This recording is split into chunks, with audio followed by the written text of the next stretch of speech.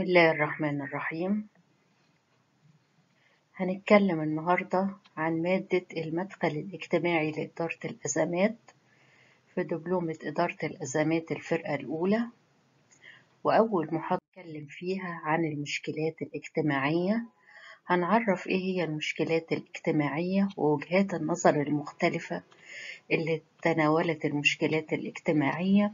وهنفرق ما بين المشكلة الاجتماعية والمشكلة الشخصية. تعالوا الأول نشوف المشكلات الاجتماعية هي إيه. قبل ما نقول إيه هي المشكلات الاجتماعية أو نعرفها تعالوا ندي أمثلة عن المشكلات الاجتماعية. نقدر نقول إن المشكلات الاجتماعية زي الهجرة غير الشرعية زي انحراف الأحداث زي انتشار المخدرات زي البطالة زي النفاق الرياء الكذب. كل دي مشكلات بسميها مشكلات اجتماعية. من خلال الأمثلة دي أقدر أعرف المشكلة الاجتماعية بإنها صعوبة تواجه أنماط السلوك السوية. نفاق رياء أنماط السلوك السوية الصراحة والصدق. فبدال في أنماط سلوك غير سوية تبقى دي مشكلة اجتماعية. أو أقدر أقول إن المشكلة الاجتماعية هي انحرافات تظهر في سلوك الأفراد والجماعات أو هي انحراف عن المعايير المتفق عليها في ثقافة من الثقافات أو مجتمع من المجتمعات. يعني مثلا إحنا بنتفق إن الهجرة غير الشرعية دي مش من ثقافتنا أو دي مش من مجتمع مش ثقافة مجتمعنا أو إن النفاق والرياء والرشوة دي مش من ثقافتنا أو دي مش من عاداتنا وتقاليدنا أو دي مش من أعراف والسلوك المتفقين عليها سواء جماعيا واجتماعيا. فيبقى أقدر أقول إن المشكلة الاجتماعية هي انحراف عن المعايير المتفق عليها في ثقافة من الثقافات أو مجتمع من المجتمعات أو هي خروج فرد عن المتعارف عليه من العادات والتقاليد والأعراف والسلوك جماعيا واجتماعيا.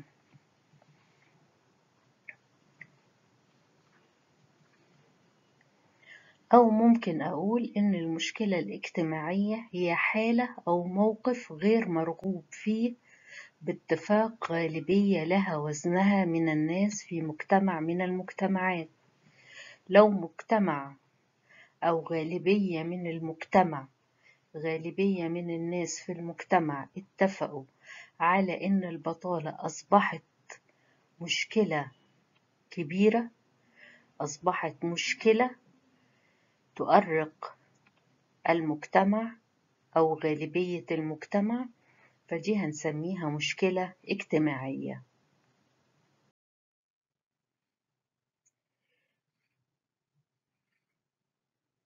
أو ممكن نقول إن المشكلة الاجتماعية إنها حالة بتنظر إليها الجماعة على إنها انحراف وخروج عن الحدود الاجتماعية المرسومة.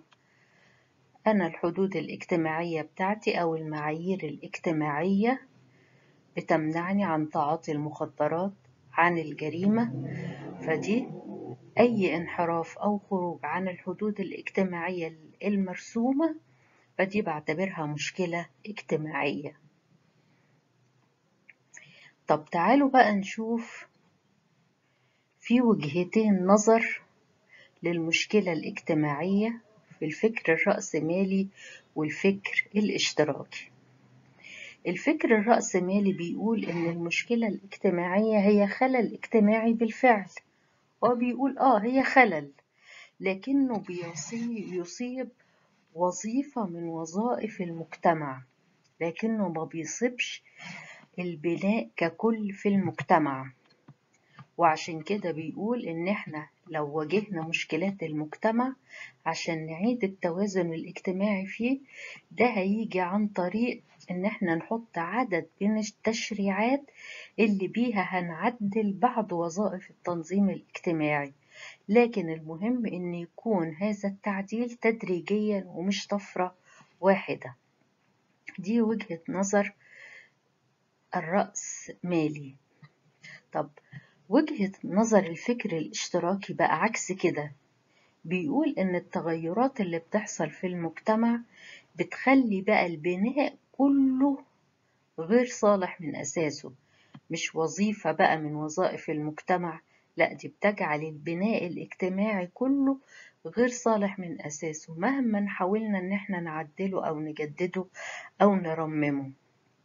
وعشان كده بيقول إن إحنا لازم نغير البناء كله جذريا بس يتم ده عن طريق الثورة مش عن طريق التدرج زي ما كان بيقول الفكر الرأسمالي كأن بقى إن إحنا بنقول إن الفرق بين الفكر الرأسمالي والفكر الاشتراكي يكمن في إيه؟ حاجتين أول حاجة إن الفكر الرأسمالي بيقول نعمل التغييرات دي تدريجيا لكن الفكر الاشتراكي بيقول إن إحنا نعملها طفرة ثورة. وفرق تاني بيقول إن الفكر الرأسمالي بيقوم على الإصلاح والترميم لكن الفكر الاشتراكي بيقوم على الهدم الكلي ثم الإقامة والبناء.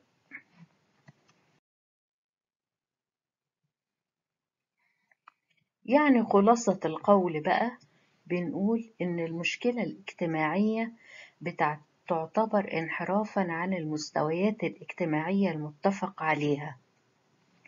وطبعا المستويات الاجتماعية دي بتختلف باختلاف الزمان واختلاف المكان. إحنا قلنا في مستويات اجتماعية محددة في معايير اجتماعية. لو حصل انحراف فيها هنقول إن إحنا بنواجه مشكلة اجتماعية. طيب هل المستويات الاجتماعية دي اللي إحنا بنحطها في مجتمع من المجتمعات ثابتة طول الوقت وثابتة حتى باختلاف الأماكن؟ لا طبعا بتختلف من زمان لزمان ومن مكان إلى مكان. الخلاصة التانية بنقول إن المشكلة الاجتماعية هي التي يراها الناس كذلك. يعني هي دي النوع من السلوك اللي بيتجمع غالبية الأفراد على إنه مشكلة. مش إحنا قلنا إن المشكلة الاجتماعية هي اللي بيراها غالبية لها وزنها من الناس وبيقولوا إن إحنا بنتعرض لمشكلة عشان كده بسميها مشكلة اجتماعية. فبرضه بنقول إن المشكلة الاجتماعية هي اللي بيراها الناس كذلك أو هي اللي بيتجمع غالبية الناس على إنها مشكلة. ثالث حاجة المشكلة الاجتماعية تتميز من مكان إلى آخر ومن زمان إلى آخر ومن ظرف إلى ظرف ومن قطاع مجتمعي إلى آخر. يعني المشكلة الاجتماعية اللي, بيت... اللي بتميز مكان معين بتختلف من مكان لمكان. أو المشكلة الاجتماعية اللي أنا كانت بتميزني في زمن معين ممكن تختلف في زمن تاني. مش شرط إن أنا بعاني النهاردة من مشكلة معينة وهي اللي أنا بتميز بيها هذه المشكلة إن أنا أجي السنة الجاية أبقى أعاني برضو منها أو هي اللي بتميزني نفس هذه المشكلة. لا المشكلة الاجتماعية بتتغير أو بتتميز من مكان لآخر ومن زمان لآخر ومن ظرف إلى ظرف. يعني النسبية بتلعب دور كبير في تحديد ملامحها. آخر خلاصة عندنا بتقول إن المشكلة الاجتماعية تعكس المصالح والمواقف والاهتمامات الخاصة بطبيعة الحال. يعني إيه؟ يعني كل فرد أو كل جماعة أو كل مجتمع بيقول إن دي الشيء ده مشكلة أو مش مشكلة من وجهة نظره هو الذاتية البحتة حسب مصلحته هو حسب مواقفه هو حسب اهتماماته هو. يعني ده مش شرط إن فرد واحد يقول إن الموضوع ده مشكلة يبقى هو فعلا ده مشكلة اجتماعية. لأن كل فرد بيعبر عن الشيء من وجهة نظر ذاتية بحتة لكن ده مش معناه إن إحنا هنعدم الموضوعية هنا. الخير خير والشر شر والحلال بين والحرام بين مهما كان بينهم من أمور مشتبهات.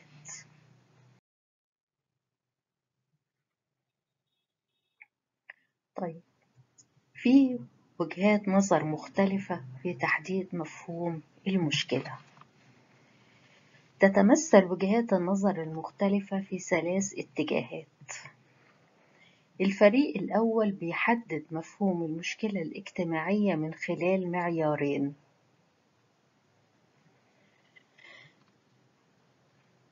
أول معيار اللي هو المعيار الذاتي تاني معيار اللي هو المعيار الموضوعي.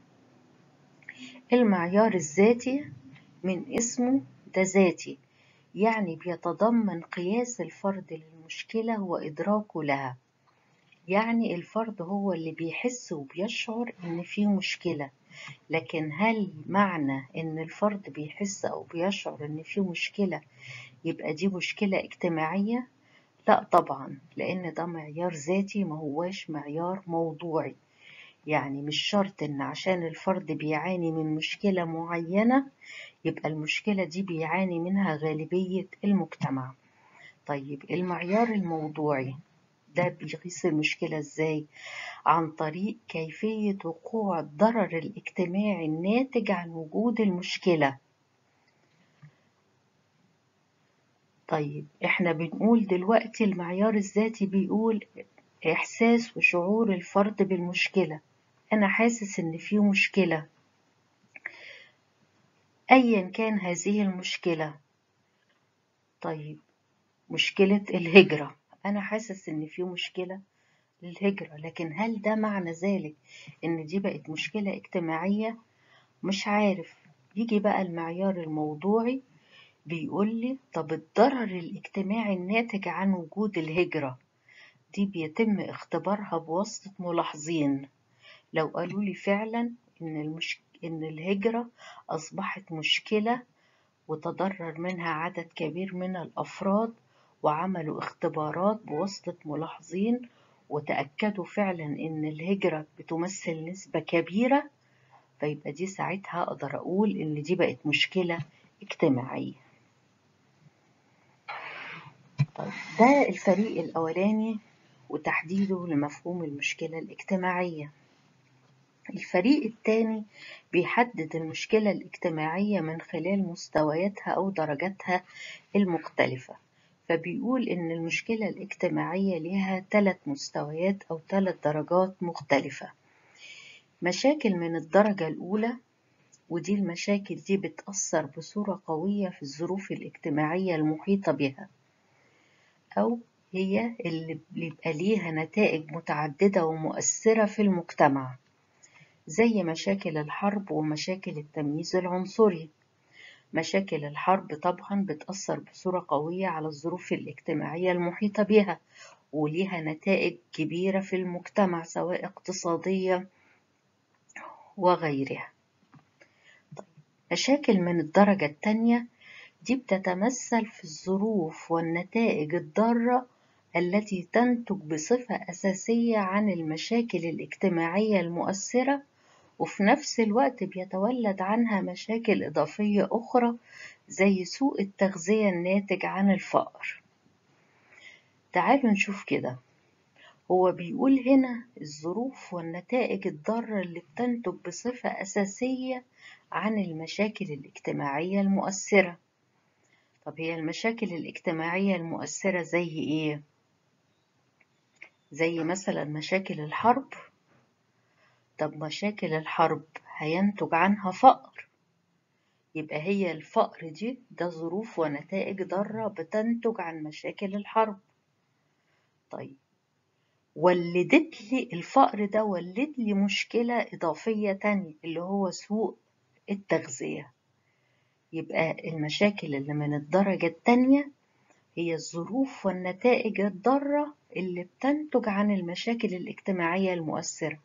وفي نفس الوقت بتولد لي مشاكل إضافية أخرى زي الفقر. مشاكل من الدرجة الثالثة وهي دي الظروف الضارة اللي بتعد نتاج للمشاكل الاجتماعية الأساسية من الدرجة الأولى. هي المشاكل الاجتماعية من الدرجة الأولى قلنا زي إيه؟ زي التمييز العنصري. قال لك لو البطالة نتجت عن التمييز العنصري تبقى البطالة دي مشاكل من الدرجة الثالثة يبقى الفريق الثاني حدد المشكلة الاجتماعية من خلال ثلاث مستويات. الفريق الثالث بيحدد مفهوم المشكلة الاجتماعية في ضوء ثلاث شروط.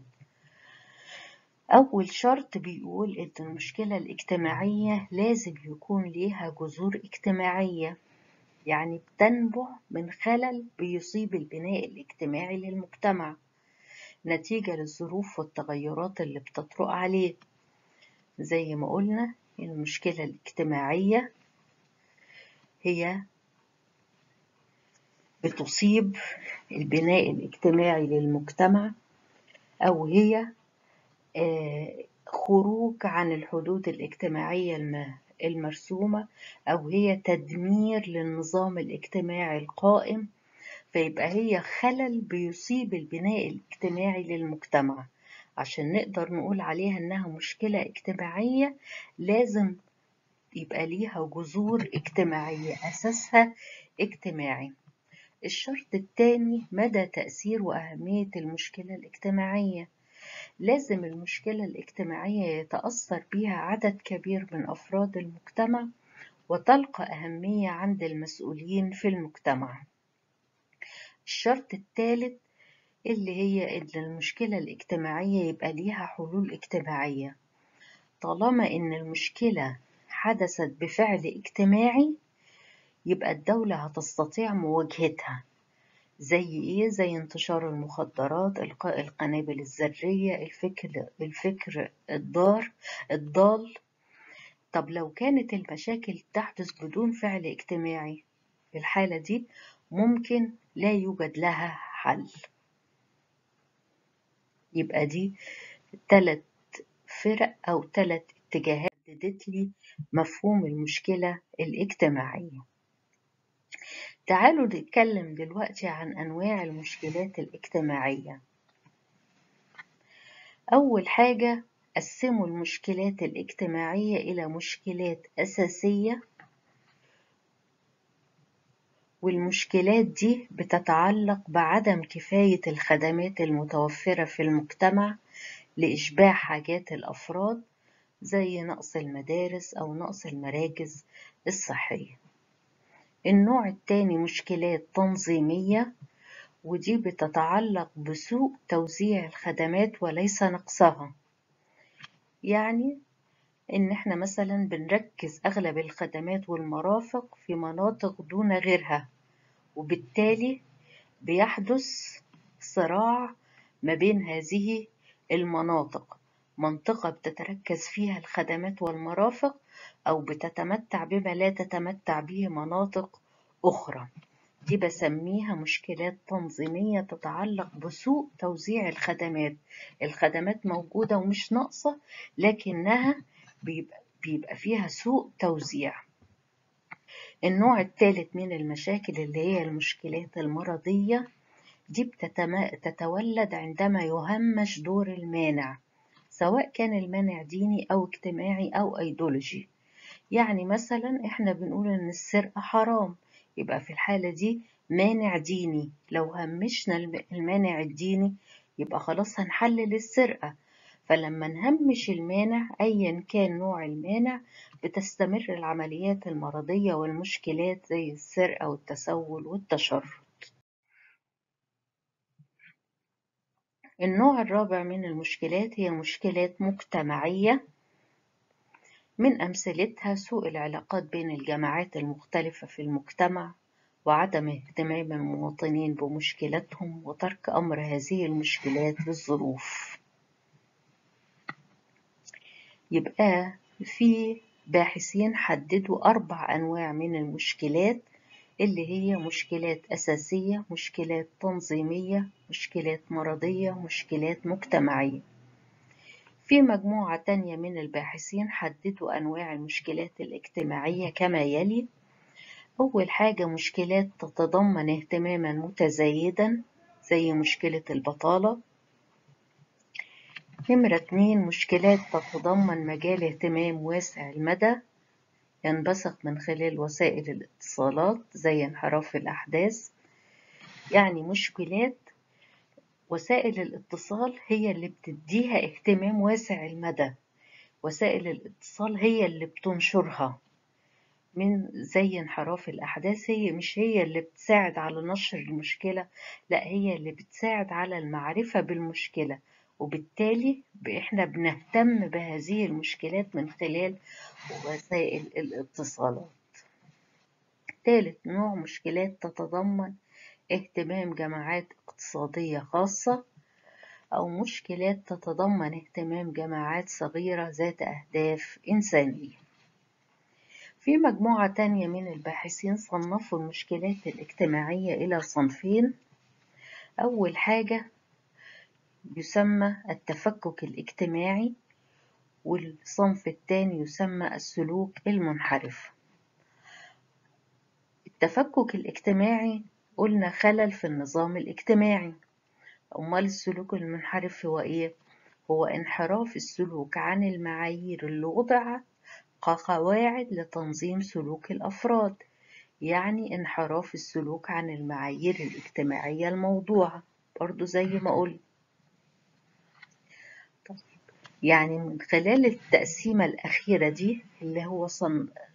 قسموها إلى تفكك اجتماعي وسلوك منحرف يعني من وجهة نظرهم إن المشكلة الاجتماعية ليها جانبين جوانب فردية وجوانب مجتمعية.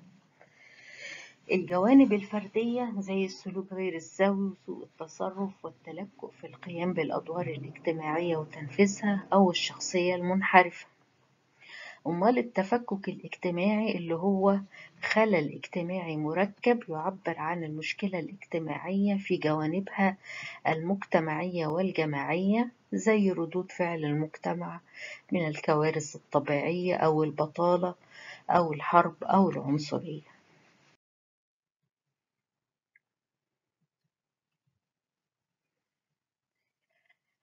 هنتكلم بقى في المحاضرة دي عن أهم أوصاف المشكلات الاجتماعية. أول حاجة ظهور المشكلة الاجتماعية لا يقتصر على عامل واحد فقط وإنما على مجموعة من العوامل التي قد لا نستطيع معرفة بعضها. يعني المشكلة الاجتماعية ما بتظهرش نتيجة عامل واحد فقط لكن بتظهر نتيجة عدة عوامل. هل العوامل دي المسببة للمشكلة لظهور المشكلة الاجتماعية لازم نعرفها كلها؟ في أغلب الأوقات لا نستطيع معرفة معظمها عشان كده لما بنيجي نحل المشكلة بنركز على العوامل اللي إحنا بنعتقد إنها أكثر أهمية من غيرها لأننا مش عارفين كل هذه العوامل. زي مثلا لما نيجي نقول الإدمان. ده ممكن يكون بسبب البيئة الاجتماعية أو بسبب الأسرة أو الأوضاع الصحية السيئة أو الوضع الاقتصادي للمدمن. كلها أسباب بتؤدي أو عوامل بتؤدي إلى ظهور المشكلة الاجتماعية. لكن أي هذه العوامل هي السبب أو هي اللي أدت إلى ظهور هذه المشكلة في الفرد الفلاني. فإحنا ما بنبقاش عارفين أو في مجموعة من الأفراد ما بنبقاش عارفين فبنركز على العوامل اللي بنعتقد إن هي أهم أهم من العوامل الأخرى. نمرة اتنين مش هنقدر نعرف جميع أسباب المشكلات الاجتماعية لأن كثير من الأسباب هي نتائج في نفس الوقت فما بنقدرش نفرق نقول إن ده سبب ولا نتيجة. عشان كده لما نيجي نحل المشكلة الاجتماعية يجب إن إحنا نتوخى الحذر والتروي عشان نقدر نفرق بين الأسباب الحقيقية للمشكلة والنتائج المترتبة عليها نمرة ثلاثة مش من السهل السيطرة على المشكلة الاجتماعية سيطرة تامة ليه؟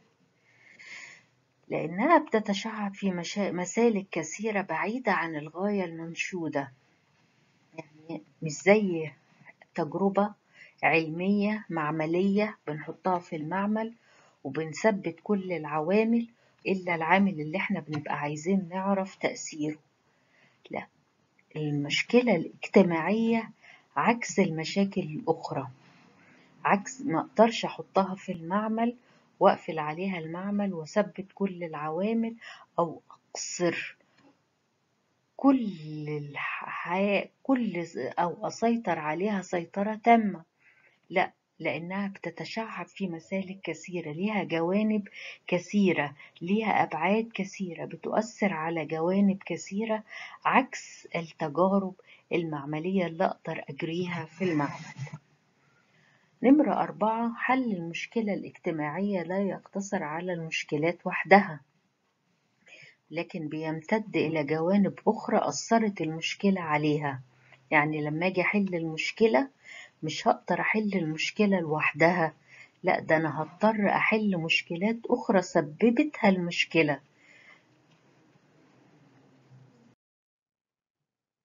خمسة العلاقة بين المشكلات الاجتماعية والتغيرات اللي بتطرق على المجتمع علاقة وثيقة. ليه بقى؟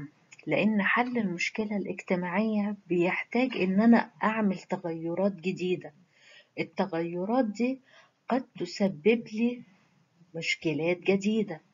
المشكلات اللي هتسببها لي هذه التغيرات مش هتكون بدرجة واحدة على كل الأفراد وممكن تأثر على أفراد دون أفراد أخرى. زي مثلا أزمة السكن. فأزمة السكن دي مش هيعاني منها إلا الأفراد اللي هم ما عندهمش إمكانية لتوفير مساكن جديدة أو مساكن عموما. لكن مش هيعاني منها واحد عنده عقار أو عنده مسكن. نمرة ستة المشكلات الاجتماعية متداخلة مع بعضها ولا تظهر بشكل مستقل. سبعة المشكلات الاجتماعية تظهر أو تزداد نتيجة للتغيرات الاجتماعية المرغوب فيها بشكل عام. فمثلا اختراع السيارة أدى إلى مشكلات كتيرة.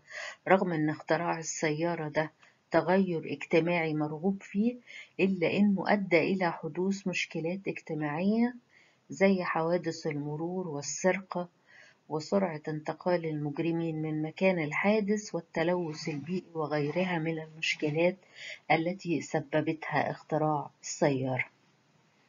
8 بعض المشكلات الاجتماعية تخلف آثار بيبقى ليها آثار الإنسان لوحده ما بيقدرش يتغلب عليها أو يتجنبها زي حوادث السيارات والأمراض الوبائية. فطبعا الفرد مش هيقدر يتغلب على هذه المشكلات بمفرده أو يتجنبها بمفرده. ودي كانت أهم أوصاف المشكلة الاجتماعية. تعالوا بقى نفرق بين المشكلة الاجتماعية والمشكلة الشخصية. بنعرف المشكلة الشخصية بأنها اضطرابا في الظروف والإمكانيات المتوفرة للشخص. أما المشكلة الاجتماعية خلل في البناء العام للمجتمع سواء كان هذا البناء اجتماعيا أو اقتصاديا. وفي نفس الوقت برضو هنعتبر إن المشكلة الشخصية أسبابها وعلاجها بيرجع للفرد نفسه وبيئته المباشرة لكن المشكلة الاجتماعية بتعتبر خارج نطاق الفرد وبيئته المباشرة من حيث الأسباب والعلاج. يعني مثلا بنقول إن لو فرد كان مش راغب في العمل مش قادر يشتغل ما عندوش الخبرة ما عندوش الكفاءة ما عنده أسباب صحية بتعوقه عن العمل. كل ده ما يخليناش نقول إن في بطالة في المجتمع. لا لأن دي أسباب شخصية بترجع إلى الفرد نفسه. لكن المشكلة الاجتماعية دي خلل في البناء العام للمجتمع. يعني لما يبقى في بطالة بنسبة كبيرة عدد من الأفراد مش لاقيين شغل كلية وعندهم الرغبة وعندهم الكفاءة وعندهم القدرات وعندهم الإمكانيات وما عندهمش أي أسباب تمنعهم من العمل ساعتها هنقول إن دي مشكلة اجتماعية. وبرضه في نفس الوقت هنقول إن إزاي نعالج المشكلة الفردية الشخصية الفرد هو اللي ممكن يعالجها يزود إمكانياته ويزود خبرته عشان يقدر يشتغل مثلا. لكن المشكلة الاجتماعية هل الفرد هيقدر يحلها؟ أو البيئة بتاعت الفرد نقدر نستخدمها في علاج هذه المشكلة؟ لا. من كلامنا اللي فات في المحاضرة دي والمحاضرة اللي فاتت هيتضح مدى تداخل المشكلات مع بعضها ومدى التداخل بين المشكلات والانحرافات؟ ومدى التداخل بين المشكلات والظواهر الاجتماعية؟ وتعالوا نشوف هذا التداخل بشيء. أول حاجة تشابك المشكلات وتلاحمها. أي مجتمع ممكن ننظر له على إنه نسيج متشابك من المشكلات. كل مجتمع ليه مشكلاته اللي بتنبع من مجموع ظروفه ويتميز بها عن غيره بس المشكلات اللي بتميز كل مجتمع دي بتتداخل وتترابط وتتلاحم لدرجة إن عشان نواجه واحدة منها لازم هنواجه كل أو بعض المشكلات الأخرى زي إيه؟ زي مشكلة الأمية. لما نحب نواجه مشكلة الأمية أو نحل مشكلة الأمية هنجد نفسنا متع... بنتعامل مع مشكلات أخرى غير مشكلة الأمية زي مشكلة الدخل المستوى الصحي مستوى الوعي وغير ذلك من الأمور اللي تجمعت وتدخلت وتلحمت فأفرزت المشكلة. فلما نيجي نواجه المشكلة ما بنبقاش عارفين نتجه إلى الدخل ولا نشوف المستوى الصحي ولا المستوى الوعي اللي هو أدى إلى مشكلة الأمية. يبقى إحنا كده قدام مشكلات عديدة. ليه؟ عشان في تشابك وتلاحم بين المشكلات بعضها وبعض. نفس الوقت برضو في كثير من المشكلات ناتج عن مشكلات أخرى ويسبب بدور مشكلات زي الهجرة مثلا سواء كانت هجرة داخلية أو هجرة خارجية. الهجرة دي مشكلات دي مشكلة بتسببها مشكلات أخرى. إيه هي المشكلات اللي بتسبب مشكلة الهجرة؟ زي مثلا مشكلة قلة الدخل نقص الخدمات التخلف الاجتماعي والإداري جمود العادات والتقاليد قسوتها والضبط الاجتماعي. في نفس الوقت الهجرة دي بتسبب مشكلات غيرها. زي إيه؟ المجتمع الطارد اللي هو الناس بتهاجر منه ده بيسبب بيتعاني من مشكلات زي التفكك الأسري والانحراف الأخلاقي وحرمان المجتمع من صفوة أبنائه. المهاجرين. طب المجتمع بقى اللي هو الجاذب المجتمع إن الناس بتهاجر ليه ده برضه بيتعرض لمشكلات زي إيه؟ زي مشكلات الكثافة السكانية المرتفعة وتلوث البيئة وارتفاع معدل الجرائم.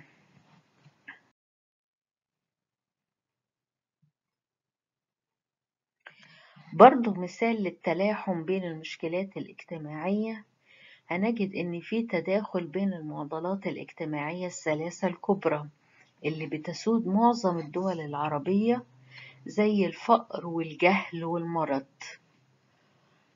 طب لما نيجي نعالج نبدأ بالفقر ولا بالجهل ولا بالمرض؟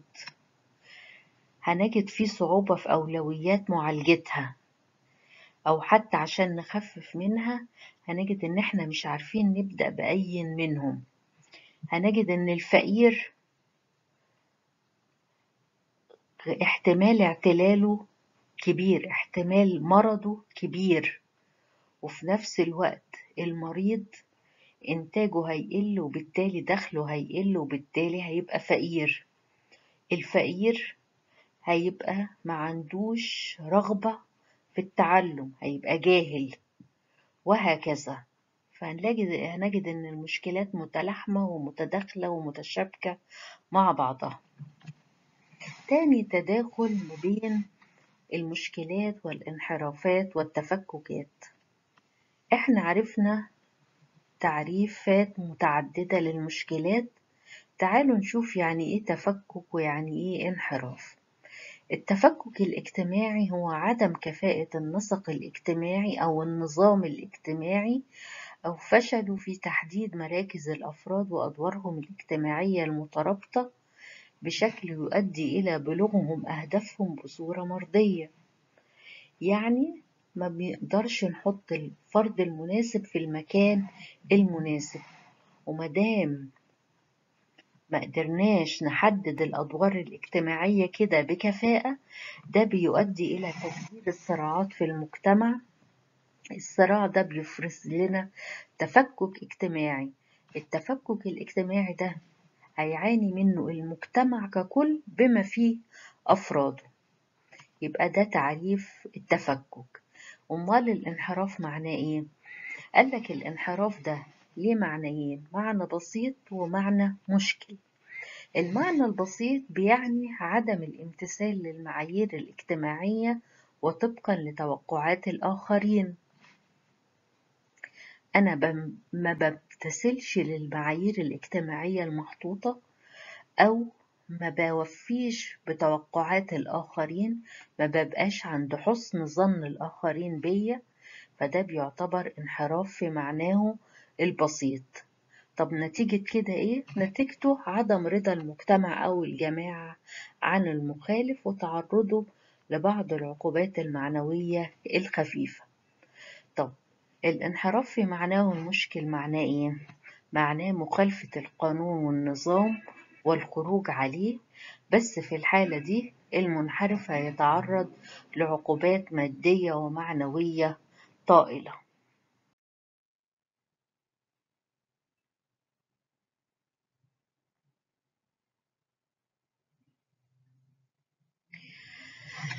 فلو حاولنا بقى نشوف العلاقة بشكل دائري ما بين التفكك والانحراف والمشكلة هنجد أول حاجة لو فشل المجتمع في تحقيق الآمال وتحديد الأدوار الاجتماعية بكفاءة وفعالية هتظهر الإحباطات وتفجر الصراعات على سطحه الاجتماعي. لو تواجدت الإحباطات وتفجرت الصراعات أفرزت بالضرورة تفكك اجتماعي. لو انتشر التفكك الاجتماعي بين قطاعات مجتمعية كبيرة شكل مشكلة اجتماعية لو أثرت المشكلة الاجتماعية بالسلب في الأفراد والجماعات أصبحت سلوكا انحرافيا. وبدل سلوك منحرف يبقى لازم ده بيتطلب منا إن إحنا نواجهه عشان نعالج هذا الانحراف. آخر تداخل عندنا اللي هو التداخل بين المشكلات والظواهر الاجتماعية. في بعض الأمور والمسائل والقضايا الاجتماعية بنعتبرها مشكلات وفي نفس الوقت بنعتبرها ظواهر. فمثلا الهجرة من هذا النوع المزدوج. ممكن نعتبرها ظاهرة اجتماعية عشان بتنطبق عليها سمات الظاهرة الاجتماعية. وفي نفس الوقت برضو بنعتبرها مشكلة لأنها بتؤرق كثير من المجتمعات بكافة قطاعاتها وبالتالي لازم إن إحنا نواجهها. تعالوا نشوف بالنسبة للهجرة هي ليه ظاهرة وهي ليه بنعتبرها في نفس الوقت مشكلة. أول حاجة الظاهرة الاجتماعية ليها صفات معينة. اللي هي الإنسانية والعمومية والإجبارية والخارجية. الهجرة بتنطبق عليها هذه الصفات الأربعة. بتنطبق عليها صفة الإنسانية. ليه بقى إنسانية؟ عشان البشر مرسوها وما زالوا بيمارسوها وهيظلوا يمارسوها في كل زمان ومكان. يبقى هي إنسانية. أول صفة من صفات الظاهرة الاجتماعية. الصفة التانية العمومية يعني هي عامة. ما هو ممكن أي حد يهاجر ما بتقتصرش الهجرة على قطاع معين أو جنس معين أو لون معين. لا ده كل البشر ممكن يهاجروا أيا كان جنسهم أو لونهم أو القطاع اللي بينتموا إليه. وفي نفس الوقت برضو هي إجبارية. ثالث صفة من صفات الظاهرة الاجتماعية لأن ليها صفة الإجبار والإلزام والقهر لأن الفرد ساعات بيضطر إن هو يهاجر نتيجة العديد من الضغوط أو عوامل الطرد وعوامل الجذب في المجتمعات. وفي نفس الوقت برضو بينطبق عليها الصفة الرابعة من صفات الظاهرة الاجتماعية اللي هي الخارجية يعني ثابتة لا تتغير في فلسفتها وجوهرها بتغير الأفراد. يبقى كده بنعتبر إن الهجرة هي ظاهرة اجتماعية. طب في نفس الوقت بنعتبرها مشكلة اجتماعية. ليه؟ هي المشكلة الاجتماعية قلنا هي صعوبات تظهر في مجتمع ويجمع الناس على إنها كذلك فيبحثون لها عن حل. فالهجرة برضو يمكن أن يكون لها نفس السمات ففي إجماع على اعتبار أن الهجرة سواء كانت ريفية أو حضرية أو هجرة العقول من الأمور الضاربة في الصعوبة واللي بتسعى كل المجتمعات إلى التغلب عليها من ناحية ثانية. إلى التغلب عليها. ومن ناحية تانية قلنا المشكلة هي خروج عن المعتاد اجتماعيا. خروج عن المعتاد فلو كان الأساس أو المعتاد هو الاستقرار فإن عدم الاستقرار اللي هو الهجرة يكون بالتالي مشكلة.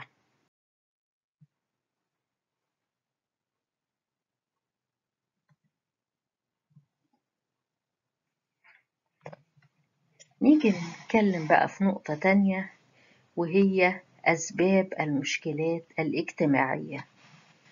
المشكلات الاجتماعية ليها عدة أسباب هنتكلم عليها اللي هي أول سبب من أسباب المشكلات الاجتماعية اللي هي العوامل الوراثية زي إيه؟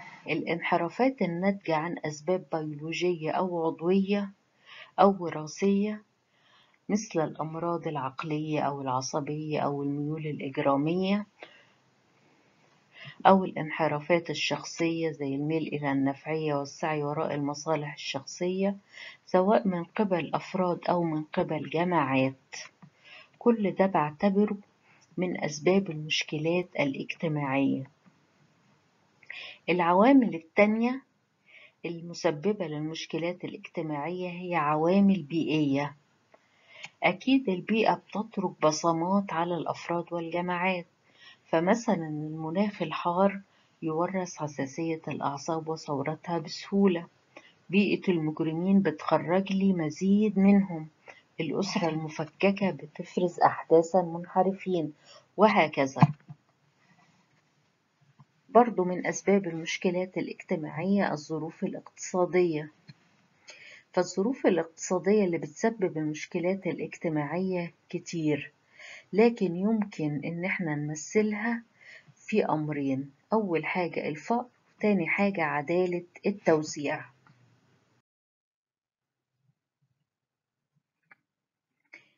أول حاجة الفقر. الفقر بيورث الكفر. ومن تنطبق عليه صفة الفقر بيكفر بكل شيء القيم والمجتمع والناس أو حتى بيكفر بنفسه وقد لا يجد أمامه طريق إلا الانحراف. أما بالنسبة لعدالة التوزيع عدالة التوزيع معناها هي المساواة العادلة في كل شيء وإن جاءت عدالة توزيع الثروة في مقدمتها. فمثلا لو عندنا مجتمعين مجتمع رأسمالي ومجتمع إشتراكي. تعالوا بقى نشوف المجتمع الرأسمالي هيحصل فيه إيه والمجتمع الاشتراكي هيحصل فيه إيه؟ المجتمع الرأسمالي هيبقى عندنا طبقتين. واحدة طاغية متحكمة في كل شيء والأخرى طبقة دنيا كادحة مستكينة خاضعة. بالتالي الفرق بين الطبقتين دول بيورث الحقد الاجتماعي للطبقة التانية والحذر واللا أمان والخوف للطبقة الأولى. وبيفتح الباب على مصراعيه للصراع الاجتماعي بمختلف درجاته واتجاهاته. ده بالنسبة للفكر الرأس المجتمع الرأسمالي. يبقى المجتمع الرأسمالي هيبقى فيه صراع اجتماعي. طب هل المجتمع بقى الاشتراكي هل مش هيبقى فيه صراع اجتماعي؟ هل مش هيبقى فيه مشكلات اجتماعية؟ لا طبعا برضه هيبقى فيه مشكلات اجتماعية نتيجة للنظرة المتساوية نتيجة إن هو مجتمع الطبقة الواحدة أو بنسميه المجتمع اللا طبقي لأن الناس بطبيعتهم غير متساويين وبالتالي الطموحين والمتميزين هيثيروا الصراعات من جانبهم. وبيدخل تحت عدم عدالة التوزيع عدم عدالتها في كثير من أوجه الحياة الاجتماعية زي توزيع المرافق والخدمات بأنواعها. زي مثلا الحواضر والمدن الكبيرة بتحظى بالنصيب الكبير من مؤسسات الخدمات لأسباب غالبيتها سياسية بينما يظل الريف كما مهملا. حتى في المناطق الحضرية والمدن بتتمتع الأحياء الراقية بما لا تتمتع به الأحياء العادية. كل هذه المفارقات طبعا بتؤدي إلى أحقاد اجتماعية يكون من نتيجتها حدوث شهوق في البناء الاجتماعي.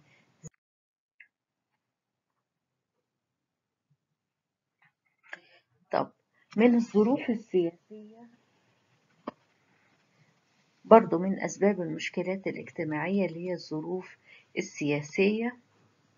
الظروف السياسية المسببة للمشكلات يمكن أن تتركز أساسا في اتجاه نظام الحكم السائد عادل أو غير عادل ديمقراطي أو ديكتاتوري أو مدى سيطرته على مقدرات الأمور في الدولة وتسييرها من عدمه. فنظام الحكم سيطرته العادلة وديمقراطيته وإتاحته الفرصة للشورى والمشاركة الشعبية ده بيساعد على خلق المواطن الحر الواعي القادر على البناء بقناعة واقتدار. عكس كده نيجي بقى للناحية التانية. لو كان نظام الحكم متسيب متخبط بين الاتجاهات والمذاهب متعصب لبعض الاتجاهات ويبطش بالبعض الآخر وبيتخذ من التسلط والديكتاتورية منهجا ده بيعمل على خلق المواطن العبد الممزق الغير قادر على حمل الأثقال. وسط هذا المناخ الفوضوي القسري الإكراهي بالتالي لا ينتظر أحد إبداعا ولا حتى تنمية لكن هذا المناخ ذاته قد يعصف بكل جهود التنمية. من آخر عوامل بتؤدي إلى المشكلات الاجتماعية اللي هي العوامل الاجتماعية الثقافية. العوامل الاجتماعية الثقافية اللي بتسهم في خلق المشكلات بنمثلها في كثير من الاتجاهات اللي منها أول حاجة اختلاف التنشئة الاجتماعية اختلاف التنشئة الاجتماعية ده ممكن يثير بعض التفككات والمشكلات. فمثلا بينشأ الفرد في ظل مناخ أسري معين قد يجد الفرد نفسه داخل إطار متساهل متسامح تقدمي أو قد يجد نفسه في في نظام متشدد رجعي. بين ده وده بتنشأ بعض المفارقات التي تؤدي إلى اختلاف النظرة إلى الحياة في عمومها. الخلاف ده بيفتح الباب للصراعات اللي بتقود بطبيعة الحال إلى بعض التفككات والمشكلات. نمرة اتنين من الأوضاع الاجتماعية الثقافية المسببة للمشكلات الاجتماعية اختلاف المستويات التعليمية. اختلاف المستويات التعليمية ده بيؤدي إلى اختلافات في وجهات النظر أو اختلاف النظر إلى الأمور. فما هو خير وما هو شر ما هو موجب وما هو سالب ما هو مسموح وما هو محظور. كل ده بينظر ينظر إليه بنظرات متفاوتة. لكن عموما المتعلم كثيرا ما ينظر إلى المعايير بتساهل ويتهاون فيها أو حتى يثور على بعض الضروب الثقافة التقليدية وبالتالي بيتسع نطاق المسموحات عنده ويحاول أن يضع لها إطارا جديدا أو يحاول أن هو يطورها من وجهة نظره. عكس الحال بالنسبة للأمي أو غير المتعلم أو حتى المتعلم تعليما بسيطا. فهو بيتمسك بالعادات والتقاليد وبيحافظ عليها وبيتمسك بيها وممكن كمان يحارب من أجلها. بين بقى التمسك المتزمت والتخلي السائر بتبرز الفجوات وتنشأ الصراعات اللي بتقود بالضرورة إلى خلق المشكلة.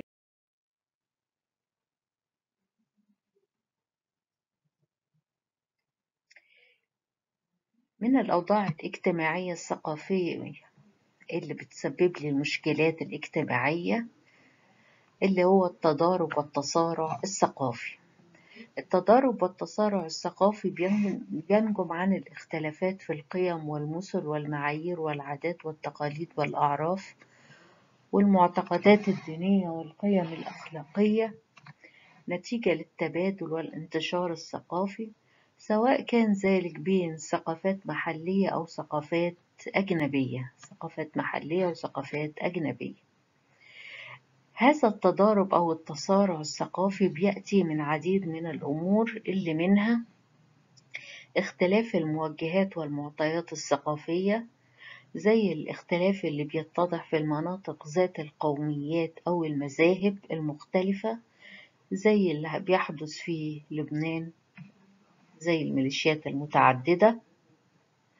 الجمود والتزمت الثقافي أو الانفتاح الثقافي اللامحدود. ده بينتج عنه صراعات معلنة ومستترة بين ما هو قديم وما هو حديث اللي بيدخل في إطاره صراع الأجيال. فكل فئة أو كل جيل بيحاول تأييد أفكاره وتثبيتها وبطبيعة الحال فإن الفئة أو الجيل لا يوجد طريق أمامه ممهدا لكنه يلتقي بالعديد من العقبات اللي بتقضي على الفكرين المتصارعين معا عشان يحل محلهم فكر جديد. مش شرط إن هو يمثل لي أحد هذين الفكرين لكنه بيبقى خليط منهم الاتنين. من التضارب والتصارع الثقافي برضو اللي هو التفاوت في سرعة التغيير أو التغير الاجتماعي والثقافي ده بيأتي نتيجة إن أحد جوانب الثقافة بي يتفاوت أو بيأتي بتفاوت في سرعة أكبر من أحد الجوانب الأخرى. يعني بيتغير بسرعة أكبر من الجانب الآخر. يعني الجانب المادي للثقافة بيبقى بسرعة أكبر بيسير بسرعة أكبر من الجانب المعنوي لها. يعني بدخل أجهزة حديثة لكن أقلمة الفرد مع هذه الأجهزة بتسير بسرعة أبطأ. ده في حد ذاته بيخلق, بيخلق ما يعرف بالهوة الثقافية اللي بتعصف بالتوازن الاجتماعي وتورث بعض المشكلات.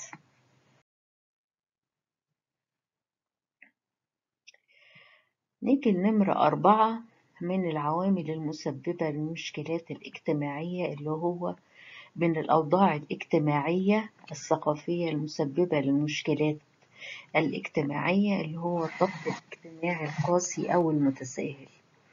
عندنا هيبقى في مجتمعين. مجتمع بيتهاون ذوي السلطة في وقف الأمور عند حدها يعني مجتمع تاني بتشتد فيه العقوبات. يبقى عندنا مجتمعين مجتمع قاسي ومجتمع متساهل. في الحالتين هتحصل هزات اجتماعية مؤثرة. ففي الوضع الأول اللي هو المجتمع اللي بتشتد فيه العقوبات ده بيمهد الطريق لحكم تسلطي ديكتاتوري بيسيطر فيه الفرد على كل الأمور وتظهر مراكز القوة اللي بتتحكم في مقدرات الشعب ويتزايد الكبت الذي يؤدي بالضرورة إلى الانفجار. لكن في الوضع الثاني اللي هو بيتهاون ذوي السلطة عن وقف الأمور عند حدها أو اللي هو المجتمع المتهاون ده برضو بتتميع الأمور وتتسيب وتضعف الرقابة ويتوه الثواب ويتوه العقاب وتضيع بالتالي كل عن ذوي الحقوق حقوقهم وبالتالي في الحالتين هتتدنى أمور الشعب وأحواله. نمرة خمسة عدم وضوح الأهداف والمعايير. عدم وضوح الأهداف والمعايير ده بيعني التخبط لأن الحدود الفاصلة بين ما هو سالب وما هو موجب غير واضحة تماما. صحيح إن الحلال بين والحرام بين لكن في بينهم أمور مشتبهات. لو لم تحسم هذه الأمور المشتبهات في مجتمع من المجتمعات فإن تفسير الصواب والخطأ والفضيلة والرذيلة والحسن والقبيح هيكون أمرا فرديا بحتا. آخر حاجة عندنا من العوامل المؤدية للمشكلات الاجتماعية اللي هي النزعات الإنعزالية والانفصالية. ممكن يتواجد في مجتمع نزعات عرقية أو قبلية أو عنصرية أو فئوية أو طائفية أو قومية أو غير ذلك من النزعات اللي بيتمسك معتنقوها اللي يؤمنوا بأنهم لازم إن هم يكون ليهم كيان مستقل ومتميز. هذه النزعات في الأغلب بتغلب الأهداف القصيرة المحدودة والخاصة على الأهداف والمصالح البعيدة الكبيرة والعامة. وهذه الفئات بتشكل في حد ذاتها جماعات ضغط في المجتمع وتؤثر في صنع قراره. ولما كانت كل فئة تتمركز حول ذاتها أصبحت بالتالي هذه الفئات تهدد كيان هذه الدول والمجتمعات.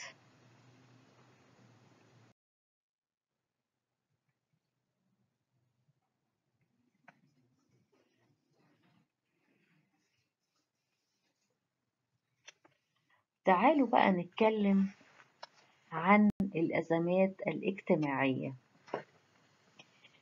إحنا اتكلمنا دلوقتي عن المشكلات الاجتماعية وعرفنا إيه هو الفرق بين المشكلة الاجتماعية والمشكلة الشخصية وعرفنا إيه هي أوصاف المشكلات الاجتماعية وعرفنا أنواع المشكلات الاجتماعية وعرفنا إيه هي العوامل المسببة للمشكلات الاجتماعية.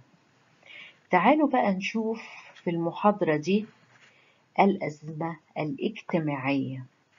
الأزمة الاجتماعية هي خلل وعدم توازن في عناصر النظام الاجتماعي في ظل حالات من التوتر والقلق والشعور بالعجز لدى الأفراد وعدم القدرة على إقامة علاقات إنسانية واجتماعية وظهور قيم ومعايير أخلاقية مغايرة للثقافة السائدة.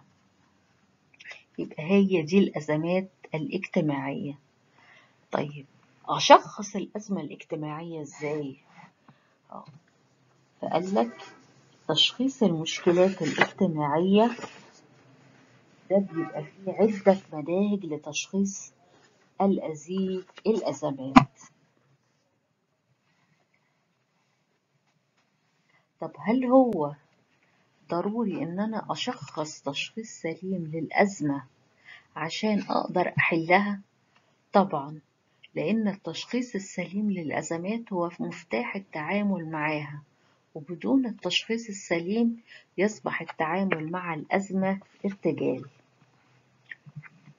ويستخدم في تشخيص الأزمات عدة مناهج أساسية فإحنا هناخد عندنا سبع مناهج لتشخيص الأزمات اللي هو المنهج الوصفي التحليلي نمرة اتنين المنهج التاريخي نمرة تلاتة منهج النظم نمرة أربعة المنهج التاريخي نمرة خمسة منهج دراسة الحالة نمرة ستة منهج الدراسات المقارنة وآخر منهج عندنا اللي هو المنهج المتكامل في التعامل مع الأزمات. وتعالوا نشوف أول منهج عندنا اللي هو المنهج الوصفي. التحليلي المنهج الوصفي التحليلي من اسمه بوصف الأزمة أو بحللها. يعني بيقوم على تشخيص الأزمة وفقا للمرحلة اللي وصلت ليها وكما هي عليها الآن من حيث بحدد مظاهرها ملامحها العامة والنتائج اللي أفرزتها على الكيان الإداري اللي حصلت فيه. هو الكيان الإداري ده عبارة عن إيه؟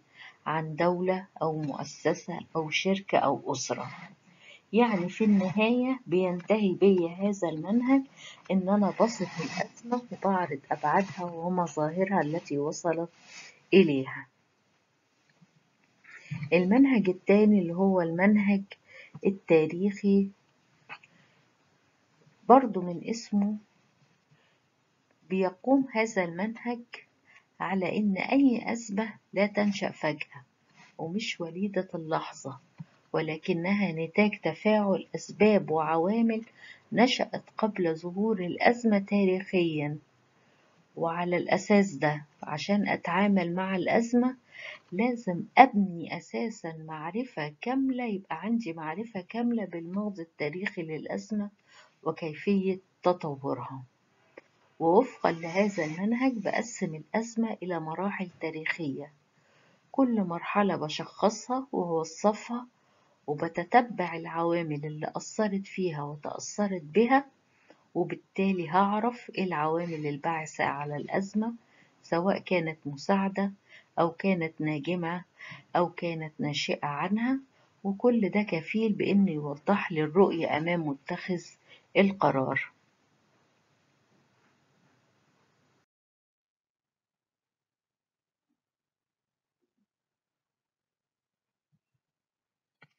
المنهج الثالث هو منهج النظم في تشخيص الأزمات.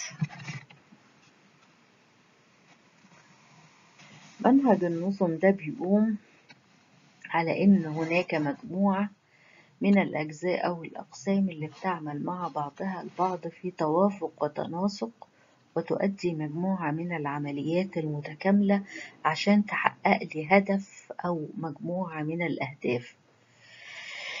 ينظر للأزمة من خلال منهج النظم على إنه نظام متكامل يحتوي على أربع عناصر أو أجزاء. أول حاجة مدخلات الأزمة. مدخلات الأزمة تحديد المدخلات ومعرفتها بيساعد بشكل كامل في تحديد أين تقع بواعث الأزمة. أو أين تكمن مواطن الضعف والقصور في هذا النظام؟ فقد تكون الأزمة ناجمة عن نقص أحد هذه المدخلات أو تكون نجمة عن وجود مجموعة مدخلات غير مرغوب في نظام الأزمة أو لا تتناسب مع إمكانيات التشغيل في النظام. تاني عنصر اللي هو نظام تشغيل الأزمة. نظام تشغيل الأزمة ده بيمثل العمليات والأنشطة اللي بيتم إجراءها على مجموعة مدخلات النظام طبقا لقواعد وإجراءات محددة حتى تفرز نتائجها وحتى يخرج إلى الوجود منتج النظام التشغيلي. زي مثلا لما أجي أقول إن المدخلات هي المواد والأفراد والبيانات. باجي أشغل البيانات عشان تطلع لي معلومات. يبقى شغلت البيانات ده هو ده نظام التشغيل. شغلت الأفراد يعني أجريت عليهم برنامج تدريب معين عشان أحصل منهم على فرد مؤهل بإمكانيات معينة وهكذا. لنظام التشغيل الخاص بالأزمة طبيعة حركية ديناميكية حكمة فمثلا قصور المدخلات لا يكفي يزاد لإيجاد الأزمة ولكن لابد أن يكون هناك تفاعل لاستخدام هذا القصور من أجل تشكيل نظام الأزمة. بل قد يكون هناك خلل ما في نظام التشغيل ذاته أدى إلى إفراز الأزمة ووجودها. العنصر الثالث اللي هو مخرجات نظام التشغيل ده بيعبر عن ما أفرزه نظام الأزمة من نتائج وآثار ومظاهر أمكن الإحساس بها يعني المدخلات اللي أجرينا عليها عمليات تشغيلية خرجت لنا مخرجات معينة دي بسميها مخرجات نظام التشغيل. آخر عنصر عندنا من عناصر النظام اللي هو التغذية المرتدة. التغذية المرتدة دي دي عملية رقابية وقائية يوجدها النظام التشغيلي عشان يتأكد من إن كل عملياته تتم وفقا لما هو محدد ومطابق لما هو مستهدف وبيكتشف من خلاله أي انحراف وبالتالي بيعالجه. رابع منهج عندنا اللي هو المنهج البيئي. برضو المنهج البيئي ده من اسمه بيقول إن أي أزمة هي وليدة البيئة اللي نشأت منها وفيها وتفاعلت معاها.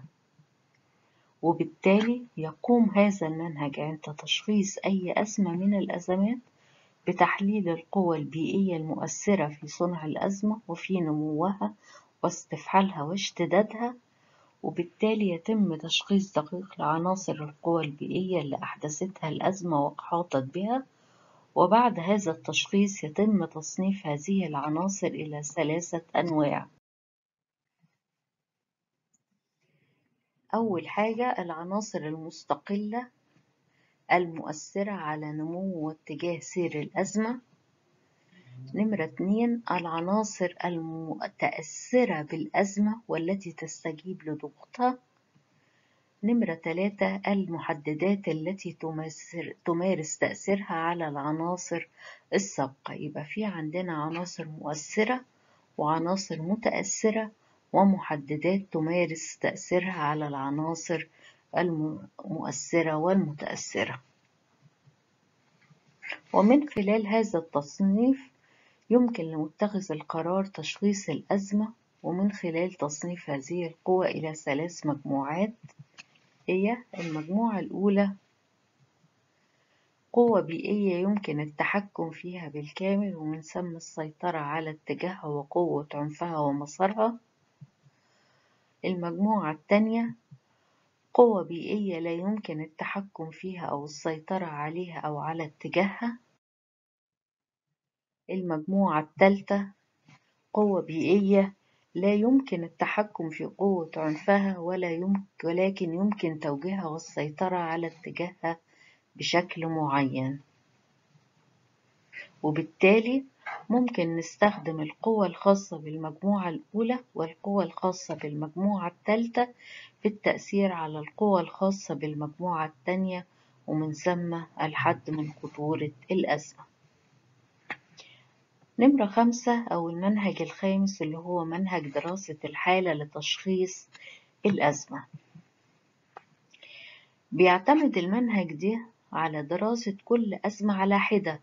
هو من اسمه كده دراسة الحالة يعني بيدرس كل أزمة على إنها حالة منفردة ليست لها مثيل حيث يتم دراسة الأزمة من عدة جوانب هي أول حاجة حجم الأزمة اللي وصلت إليه وهو ما يطلق عليه حجم الظاهرة الأزموية أو النتائج اللي أفرزتها. نمرة اتنين المناخ العام اللي أحاط بالأزمة منذ مولدها حتى هذه اللحظة. كل ده بيتكلم عن أزمة معينة. نمرة تلاتة العوامل أو الأسباب الكامنة التي أدت إلى هذه الأزمة المنهج هو دراسة الحالة بيساعد على رسم طريق لمعالجة الأزمة والوصول بها إلى قرارات أكثر موضوعية. ليه بقى؟ عشان متخذ القرار في هذه الحالة بيدرس الموقف والأسباب والعوامل الخاصة بالأزمة على كل أزمة على حدة. فبالتالي بيقدر يعرف كل ما هو خاص بالأزمة. لكن بيعيب هذه الطريقة إن أنا صعب عليا إن أنا أعمم النتائج اللي هوصل إليها من دراسة الحالة لأن الأسلوب العلمي عشان أعمم النتائج اللي أنا وصلت ليها لتجربة معينة لازم تكون العينة اللي أنا أخدتها ممثلة للمجتمع طب أنا درست حالة واحدة بس ما أقدرش أعمم نتائجها على الأزمات الأخرى ليه؟ لأن الأزمة دي مرتبطة بخصائص فردية وفريدة لا تتوفر في كل أزمة. المنهج اللي بعد كده اللي هو منهج الدراسات المقارنة لتشخيص الأزمات من اسمه دراسات مقارنة يعني هقارن الأزمات بينها وبين بعضها. يبقى هقارن أو هدرس الأزمات اللي تمت في الماضي وهقارنها بالأزمات اللي نواجهها في الحاضر. ومن ثم خلال من خلال الدراسة المقارنة يتبين أوجه الاتفاق وأوجه الاختلاف ومن ثم يتم تجربة استخدام العلاج اللي اتفق ونجح في في- ونجح في الماضي واستحداث علاج فيما اختلف في الحاضر. أساس المقارنة وفقا لهذا المنهج يكون أحد الأسس التالية. أول حاجة أساس مقارنة تاريخية يعني أزمة حصلت في تاريخ معين أو في زمن معين أقارنها بأزمة حصلت في زمن تاني أو هتكون الأزمة جغرافية أزمة أقارن أزمة حصلت في مكان معين بأزمة حصلت في مكان آخر أو أساس المقارنة يكون نشاطية يعني أزمة متصلة بنشاط معين أقارنها بأزمة حصلت في متصلة بنشاط آخر أو يكون أساس المقارنة هو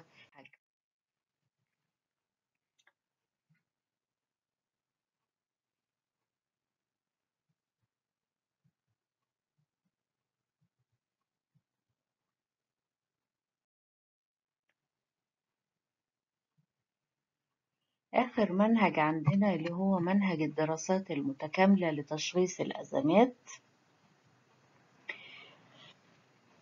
ليه بنسميه منهج دراسات متكاملة؟ لأنه بيستخدم جميع المناهج السابقة. فهو بيصف ويشخص الحالة المعروضة اللي وصلت إليها الأزمة.